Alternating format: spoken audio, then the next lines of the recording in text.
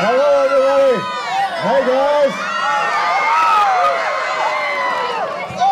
Well, it is good to see you, all of you. Good evening.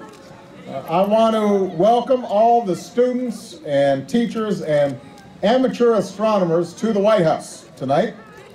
Uh, I won't speak long because we've got a bunch of telescopes and great exhibits to get our hands on. But before we begin, let me first acknowledge a few other stars who are out tonight. First of all, uh, John Holdren, my science advisor, an actual physicist, is here and eager to look through one of these telescopes. Our NASA administrator, Charles Bolden, who spent some time orbiting the Earth himself, and his deputy, Lori Garver, are here. Where's, where's Charles and Lori? They're in the back there. Give them a round of applause. We've got some specialists from NASA, the Smithsonian, uh, and the American Museum of Natural History in New York here with us as well. And we've got some of the heroes who have flown closer to the stars than anybody else. Buzz Aldrin, a man who actually walked on the moon. Where's Buzz? Right there.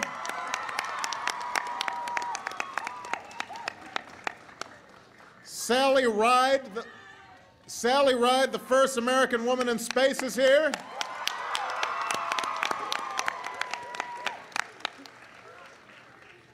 Mae Jemison, the first African American woman in space. Give her a big round of applause. And John, John Grunsfeld is here, the man they call the Hubble repairman, not to be mistaken with the Maytag repairman, for all the upgrades that he's made up there to the telescope that allows us to see farther than anyone ever imagined. So give John a big round of applause. Now, NASA's equipment is some pretty powerful stuff. But astronomy also depends on the curiosity and the contributions of amateur astronomers. And there are two students here tonight who've made some pretty amazing discoveries of their own. Uh, first of all, Caroline Moore and her dad Robert, raise your hand. Where's dad? There's Robert. They look at the stars together in New York. And last year, think about this, when she was only 14 years old, she became the youngest person ever to discover a supernova. And not just any supernova, but a kind that we may have never seen before. And earlier this year, Lucas Bolyard, Lucas, raise your hand. Where are your folks? Lucas, where, where's Lucas's folks? Raise your hands. I know you guys are proud. A high school sophomore from West Virginia discovered some unusual data that turned out to be an extremely rare kind of star called a pulsar. And Lucas was explaining to me uh, just what a pulsar was so that I wasn't embarrassed when I came out here. Now, if they can discover something great, so can any of you other students who are here tonight. All you need is a passion for science. And from the moment humans first walked on this earth, we've been endlessly fascinated by the stars.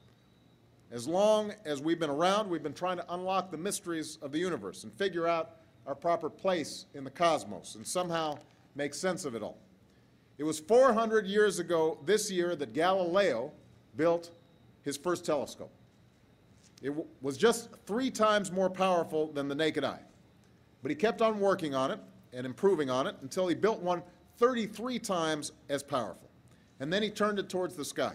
And he discovered that our moon wasn't smooth, that Venus had phases, that Jupiter had moons, and that Copernicus was right, that we do revolve around the sun. Now, we've come a long way since then. While Galileo's first telescope had lenses an inch wide, the Hubble Space Telescope has mirrors about seven and a half feet wide. A few years ago, the Hubble showed us the deepest image of the universe ever taken. And in that image, we can see about 10,000 galaxies. And each of those galaxies can hold billions of stars. Now, that's a lot, but get this. It would take 13 million of those images to map the entire sky. That's how immense it is. So there are a lot of mysteries left, and there are a lot of problems for you students to solve. And I want to be a president who makes sure you have the teachers and the tools that you need to solve them. And that's why we're working to reinvigorate math and science in your schools and attract new and qualified math and science teachers into your classrooms, some with lifetimes of experience. That's why we've launched a race to the top to raise standards and upgrade your curricula and improve teaching and learning in math and science.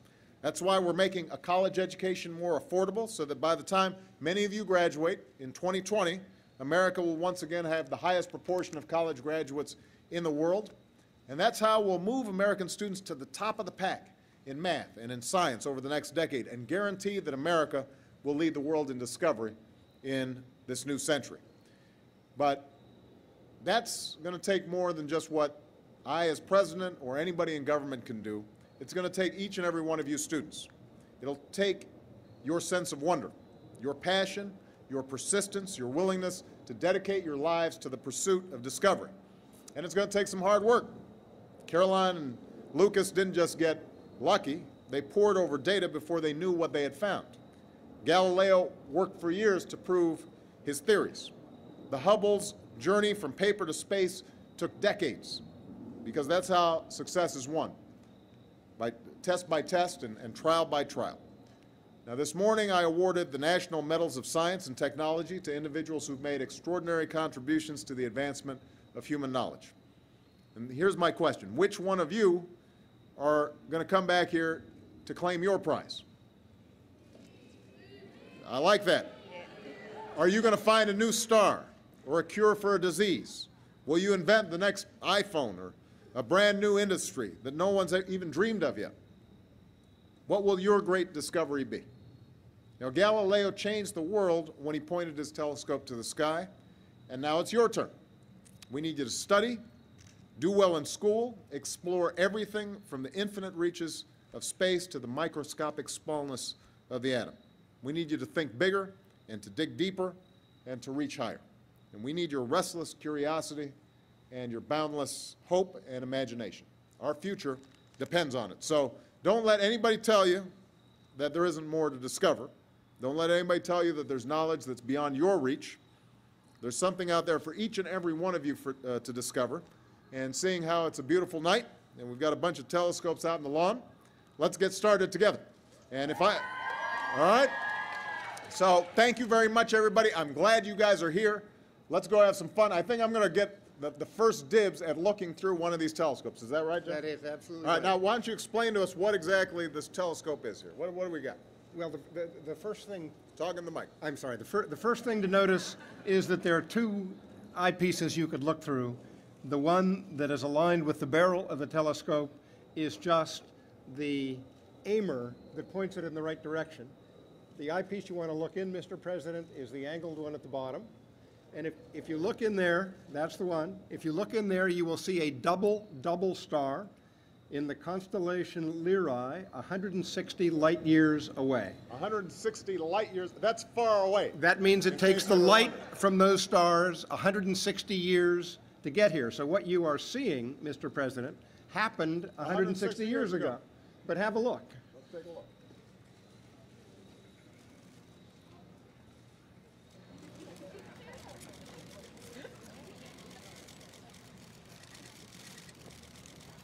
That's pretty far away.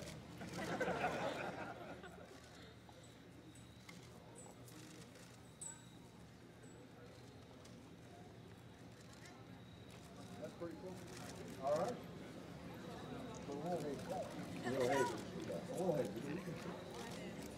It just takes a while to figure it out. Yeah.